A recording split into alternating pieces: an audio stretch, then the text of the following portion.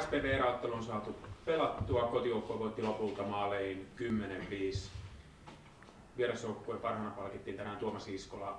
Kaksi erää mentiin tasaväkisesti, sitten kotijoukkue meni kolmannessa erässä. Menoja on vähän niin kuin edellisessäkin teidän kohtaamisessa. Miksi niin?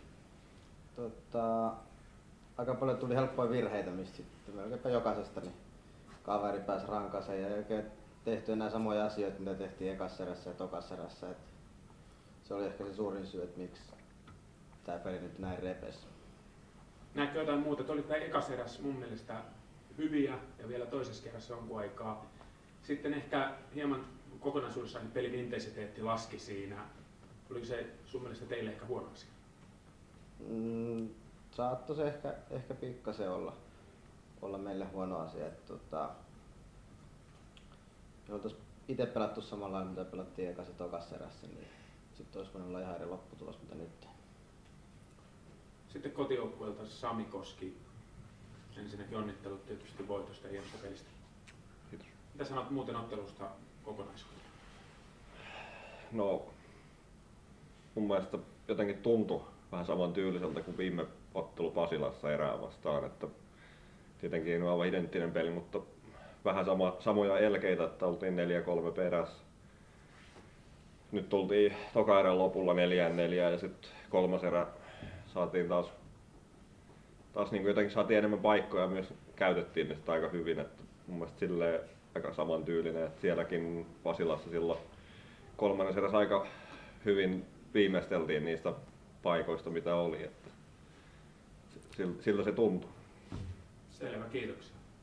Petteri, minkä asiat on asioihin olet oman joukkueen tyytyväinen? Ensimmäisen erä, sanotaan näin, että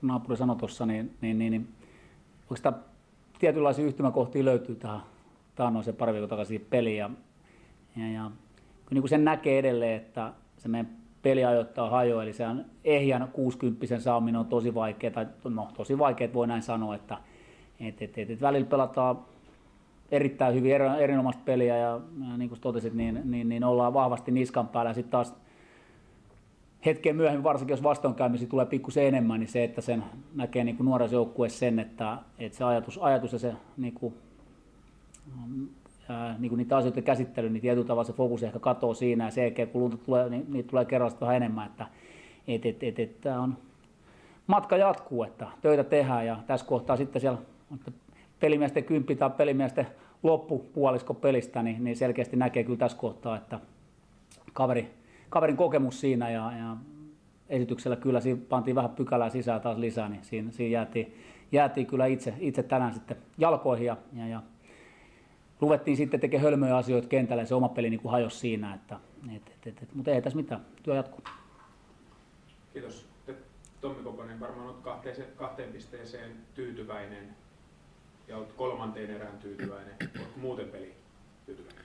No joo, voitto on erittäin tyytyväinen. Kaikki näki Allissa, että meillä oli vastassa erinomainen joukko, mikä itse nähtiin jo kaksi viikkoa sitten, että, että erä on erä on kyllä ihan toinen joukko tänä vuonna kuin viime vuonna oli. Ja, ja tota, ää, kyllä me niin kuin siis, siinä siis eka, eka erässä niin aika paljon haettiin omaa, omaa tekemistä. Mun mielestä se ei ollut hirveän huono meiltäkään. Että tota, tultiin hyvin, hyvin tota, peliin ja oltiin jo vähän niin kuin karkaamassakin, mutta, mutta erä oli siinä sen eka erän lopussa, niin just, just sitten taas erinomainen sen lisäksi, että pelasi hyvin, niin myös maalipaikoissa, että teki, teki hyvin maalit niistä paikoista.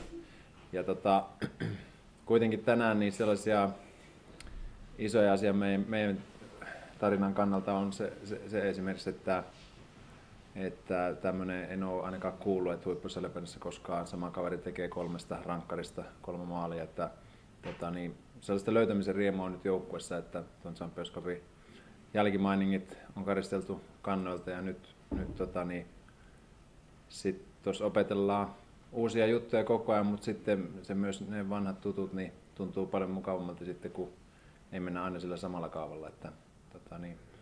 Mutta se on kyllä sanottava erään kunniaksi, että, että se, se mistä tykkää itse todella paljon, että on, on tota, niin, pelaava joukkue ja pyrkii pyrkii tuota oikeasti pelaamaan modernia salibändiä ja liikkuvaa salibändiä, että on, on sillä lailla kyllä, kyllä niin kuin, mulla ainakin itsellä niin todella positiivinen yllätys siihen, siihen odotukseen ehkä mitä, mitä heiltä on niin kuin pari edeskauden jälkeen ollut.